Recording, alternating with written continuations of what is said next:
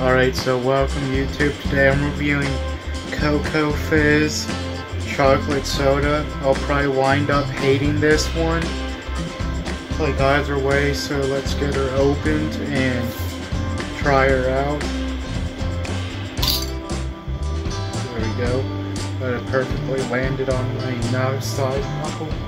So let's try this out. And as expected, I don't like it. It tastes exactly like, um, there's a product I reviewed um, some time ago, I forget what, oh no wait, it was the, um, Fantastic Chocolate Dr. Pepper, um, it tastes pretty much like that, but I don't like it, and I wouldn't pick it up again from the store but I don't I don't like like um sweet like sugary things like chocolate and like other sugary snacks mixed like flavored soda. So I hope you guys enjoyed the video and see you guys in the next one.